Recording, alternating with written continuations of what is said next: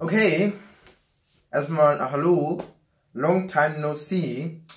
Ähm, es beginnt ja heute die K.O.-Phase der FIFA Fußball Weltmeisterschaft und jetzt schauen sehr viele Leute, die sich auch normalerweise nicht so für Fußball interessieren, ähm, Fußball. So wie zum Beispiel ich und einige andere auch. Aber ähm, manche haben vielleicht damit ein Problem, es ist 2018 sehr viele Inhalte auf YouTube sind zum Beispiel in 4K, auf Netflix ebenfalls. Aber das ähm, Signal, was zum Beispiel der ORF in Österreich ausstrahlt, ist nicht mal Full HD. Das ist HD, weil steht ja eh oben in der Ecke. Ähm, aber es ist 720p, nicht mal Full HD.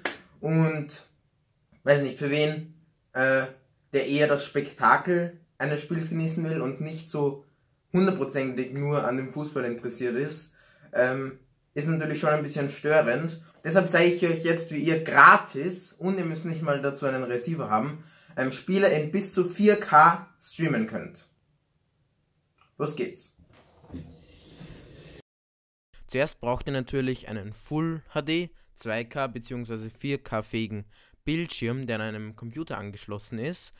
Ähm, vielleicht geht es auch mit einem Smart TV und der VLC aber da habe ich keine Erfahrung, das müsst ihr selber ausprobieren. Wenn ihr den VLC Media Player schon habt, dann ist das super. Wenn nicht, dann geht auf den ersten Link in der Videobeschreibung und ladet ihn euch runter. Ist ein super Programm und gratis sollte man auf jeden Fall auf jeden Computer installiert haben.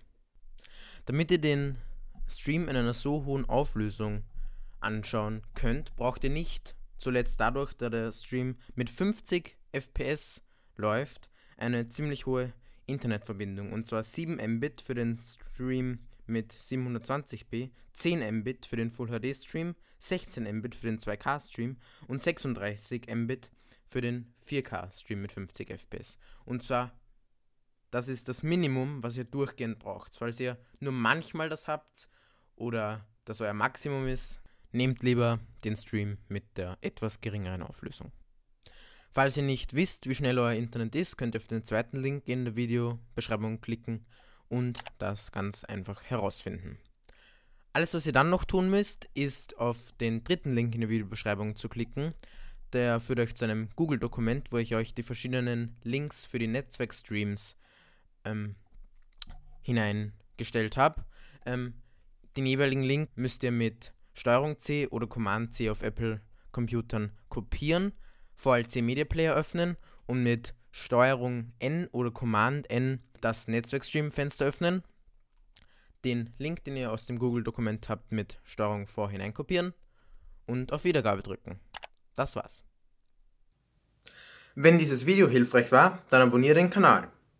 Bis in sechs Monaten. Ciao.